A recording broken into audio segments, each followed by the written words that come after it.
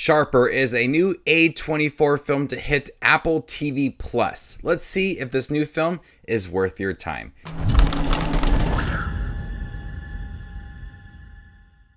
Hey everybody, my name is Justin here. I try to watch everything that hits theaters and on streaming services. If you guys are like me, go ahead and hit that subscribe button down below and click that bell notification for more up and coming content. Motivations are suspect and expectations are turned upside down as a con artist takes on Manhattan billionaires. So this new A24 film is a psychological thriller. We have a bunch of people conning each other in Manhattan.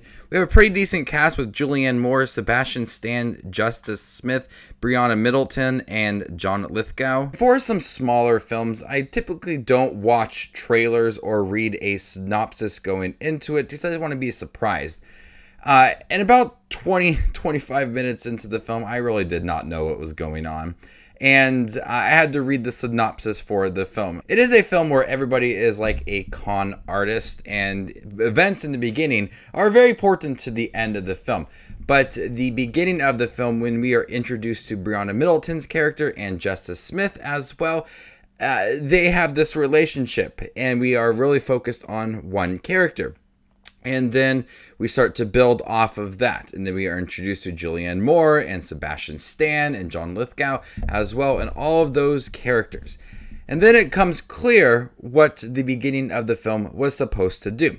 And I, now I jumped the gun a little bit in the beginning and I was like, I'm not really that interested in this film because of how slow it was in the beginning. And I really didn't understand what was exactly going on. And it wasn't until Sebastian Stan's character was introduced that you understood what the purpose of each character was and how they are a con artist and how they have a really big target. This is a film where events from the beginning to the end. Every single scene is important to what is going on in the film.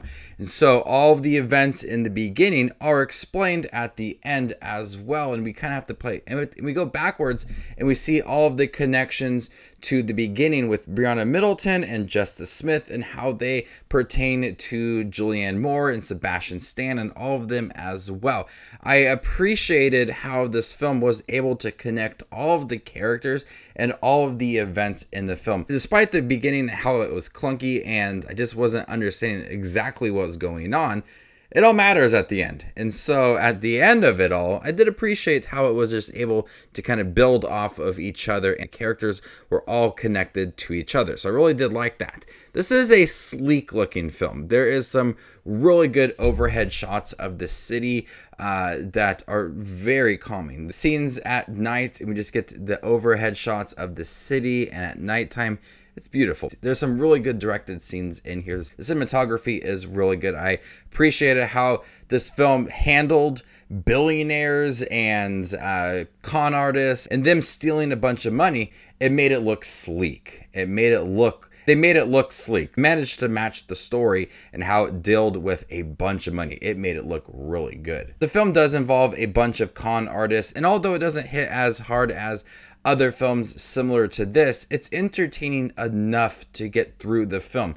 As we see the progression of the characters and connections as well, it's fun to learn of one character and have them go back to the other character and how, and how this one scene related to this scene. So watching it go back and forth, I thought was pretty entertaining in how certain scenes related to others and how they were so important. Like I said in the beginning, I thought nothing really mattered. It was just a really simple story in the beginning and it wasn't that engaging, but it came to be engaging later on in the film. The cast is pretty good as well. Justice Smith in here in the beginning, we see uh, the effects of someone conning him and how emotional it was and how he was affected. Like which i feel like you rarely don't get to see in a film like this is the other side of the story how someone is affected and usually, like in a film where someone's stealing a bunch of money, it's all for jokes and for fun.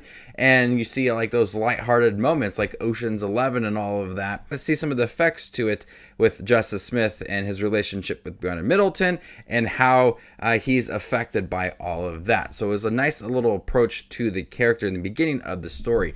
Julianne Moore is really great in here as well. She's got some really good chemistry with Sebastian Stan. That back and forth works. Sebastian Stan is great in here as well. John Lithgow Uh, John Lithgow is just kind of thrown into the middle of everything. But the whole cast plays off of each other very well, and they are all connected by the end of the film. Sharper is a pretty decent film. It looks really good. There is some really entertaining, engaging moments. I like how every single scene mattered to the end of the film, despite its slow start and not really a clear focus on what it was it all mattered at the end of the film. It's not one of the best A24 films, but it's one that I did enjoy watching throughout. Before I give you my score for Sharper, make sure to check out my channel. Here I do movie reviews, trailer reactions, ranking videos, tier lists, all that fun movie related content that you see on YouTube. I do it all here, so hit that subscribe button to get it all in one spot. And if you'd like to see where Sharper ranks amongst all of the other 2023 releases I've seen this year, follow me on Letterboxd and there you can find my ranking. I'm gonna go ahead and give Sharper a B minus. Thank you guys for checking my review for Sharper, the new A24 film on Apple TV Plus. Have you guys seen it by chance? What do you think about it? Let me know in the comment section down below and stay tuned for more up and coming content like this. My name is Justin Watches Movies, and you guys stay classy, YouTube.